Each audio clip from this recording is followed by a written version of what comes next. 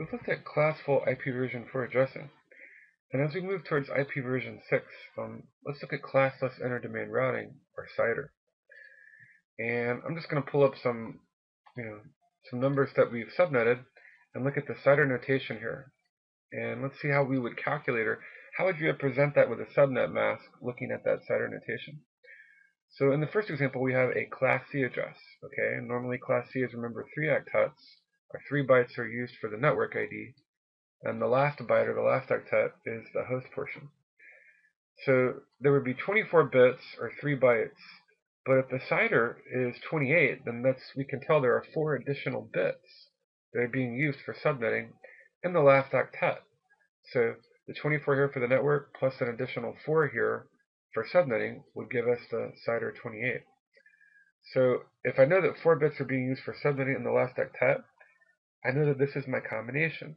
And if I know that's my combination, that gives me everything else.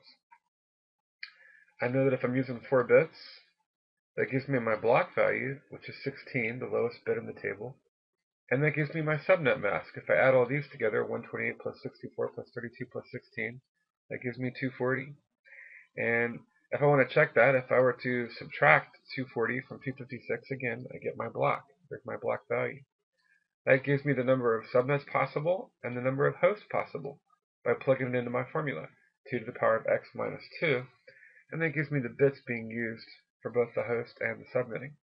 So if I know all those things, with CIDR 28 on this Class C address, here's what I would have for network broadcast and actual IPs. Based on my block value, which is the base multiple, I would get 16, 32, 48, 64, and 80. The broadcast would be simply the next network like N2, N3, N4, and 5 minus 1. So 31, 47, 63, 79, and 95, respectively. The start and end IP addresses, the valid ones, would be I'd have to add 1 to the network and start at 17, and I'd have to subtract 1 from the broadcast and end at 30. And if I count all those up, 17 to 30, those are my 14 hosts that I calculated here with my formula. So that would be a Class C address with CIDR notation of 28 bits. Alright, so forward slash 28. Let's look at another example using CIDR notation, or classless interdomain routing.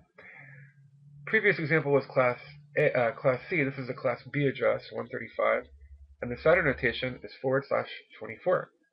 Again, now, a class B address normally utilizes the first two octets or bytes, that is, the first 16 bits, for the network address. But this is CIDR 24, so I know that there's an additional 8 bits, basically the entire third octet, that's being used for subnetting. Now this is special because if I'm using an entire octet or an entire byte, my block value is 1. If you think about it, if I were to turn all of these off, then I could literally, the lowest one I would turn on would be in the one place or the one column. So it's sort of an exception to these combinations here, it still obeys the rules in the sense that if you know I'm not turning everything off, I still have one on. But my lowest bit value, my block value, is one when I'm subnetting an entire octet. So what this will do is, sort of interestingly enough, it'll make this class B address subnet as though it were a collection of class C addresses.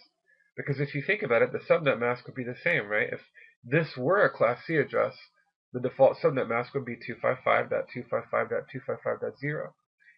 This is class B, which is normally 255.255.0.0, but because I'm subnetting that third octet, it's going to have the same subnet mask as class C. So let's plug that into our formula. And if we were to plug it into our formula, 2 to the power of 8 minus our 2, we get 254 subnets are possible, and 254 hosts are possible for each subnet. So basically, each subnet of this class B network acts like an entire class C network. It's a way to aggregate or combine multiple subnets. Um, it would be like combining a bunch of Class C networks together almost. And you know, many organizations will utilize this kind of, of subnetting structure, and you know, within a Class B environment to combine multiple subnets. The bits used for subnetting are 8, and the bits used for host are 8, because there's only one octet or one byte left. The subnet mask, again, remember, if this were normal Class B, it would be 255.255.0.0.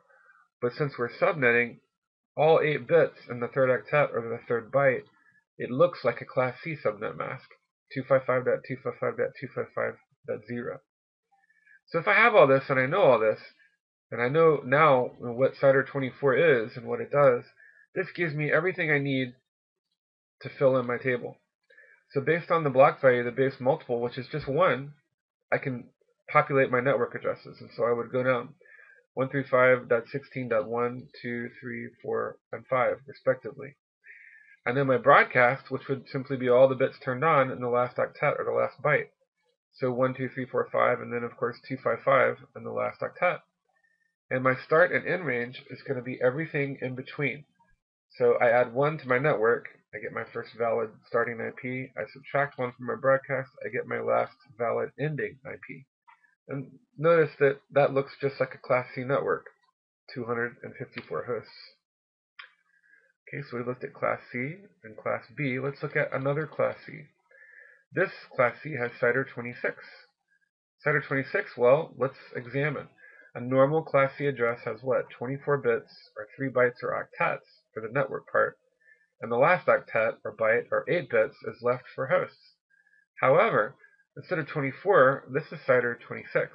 So I can tell by this that in addition to the 24 for the network, there's two additional bits that are being used for subnetting. If that's the case and I plug it into my formulas, I know that it's this one that it matches up to.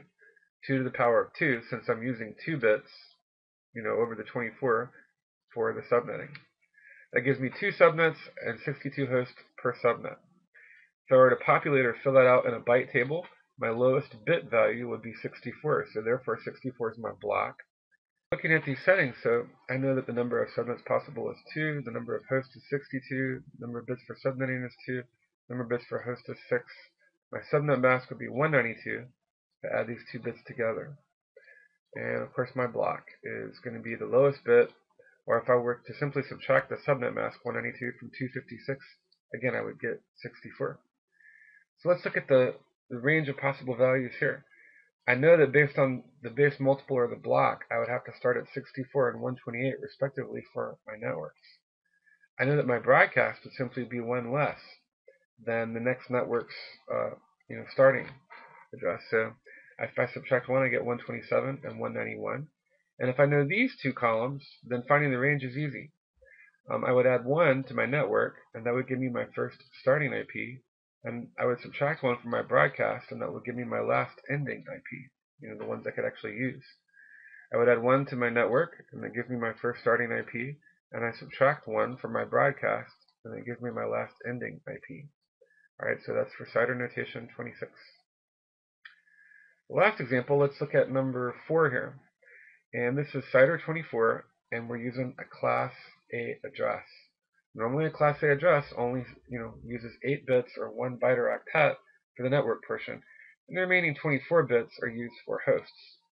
However, this tells us CIDR 24, so what does that say? In addition to the 8 bits for the network, I'm using the second and the third octet um, you know, for subnetting. So I've borrowed 16 bits from the hosts, 24 total. And basically that gives us, again, that's going to give us a block value of 1 because that gives us an entire octet where the lowest value we could turn on would be in the 1 place, or the 1 bit. So if I go through this, um, the number of subnets possible, where I'd plug that into my formula, 2 to the power of 16 minus 2, 65,534.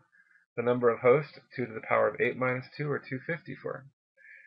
The number of bits used for subnetting would be 16. The number of bits used for host would be 8. So there are 65,534 possible subnets or networks, and I can fit 254 hosts on each network. And again, this is sort of the exception to the rule. Since I'm using an entire octet, my block value is 1. Okay. And again, if I were to add all these up, think about it. I get a 255, and if I subtract 255 from 256, I get 1. So the rules match up. So how would this look, or how would this work? Well, based on the, you know, if the base multiple is 1 or the block value is 1, here are all my network addresses. 10010, 1002, 3, 4, and 5. My broadcast would simply be all the bits turned on in the last octet.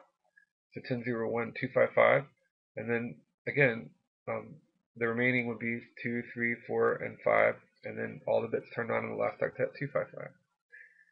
If I know this, and I know this, the network and the broadcast, then it's easy to find the valid range of IPs in between. I simply add one to get my first valid starting IP, and I subtract one from the broadcast to get my last valid ending IP. And I again, I would do that all the way down for each of those.